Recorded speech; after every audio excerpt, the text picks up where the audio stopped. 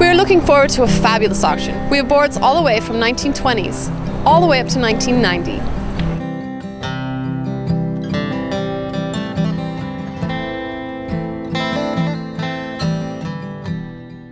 We're, down to the last two McTavish models. This first one, I love this. I've been looking looking for the last couple of years for this because I wanted to do a McTavish set.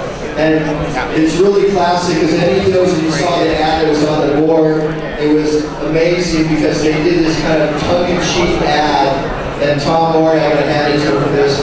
Bob was wearing an American flag, and he was, you know, crouched down there, and it was Captain America, and they were making a, you know, sort of a pun on the whole thing. And you see the Big Mac logo here.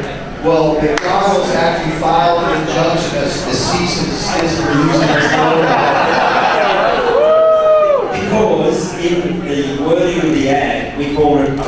A rare little disc. And they thought it was referring to that piece of meat in the hamburger. a little disc. That was what they objected to.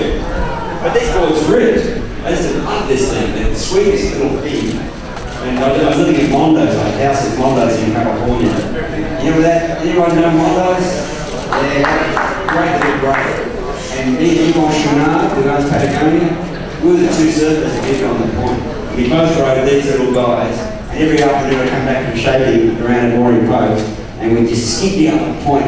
It's super long distance on these wide, you know, little wide short boards, which is really, you know, really advanced for 19, like, it was early 69, so it was really advanced for that era. And these things really work.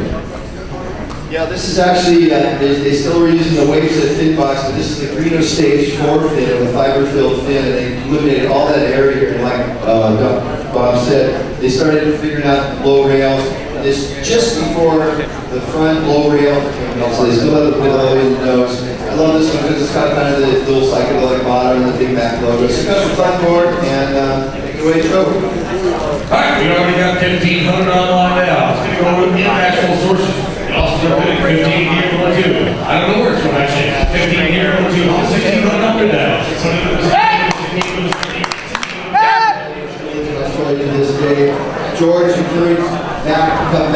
California in 1968 and Mac hooked up with Morey-Pope. And this is a Morey-Pope, Office County Schlepp's tale, and I'll let Bob tell the story. George came down every winter and started to we share house. You guys in the back, can we actually please keep it down? This is a story that everybody should hear. George came down to visit Bob Cooper, first of all, in 1964, I was working at Hayden Kennedy. Who remembers Bob Cooper? Yay, Coop. Coop sends his regards. I see Cooper fair bit. Uh, George came down to visit Bob Cooper, and first time I saw him serve, I, kept, we were, I was in the back room shaking at Hayden Kennedy's, and Algie Grubb, the sander, came racing in the door, past Cooper, who was the glasser, said, gotta come and see this. Ran across the street, and there was George Greenough. Dropped whipped this turn, charged out of the wall, did a roundhouse cut back off the lip, back down, carved off the bottom again. I just went, oh, that's how I'm gonna surf. Standing up.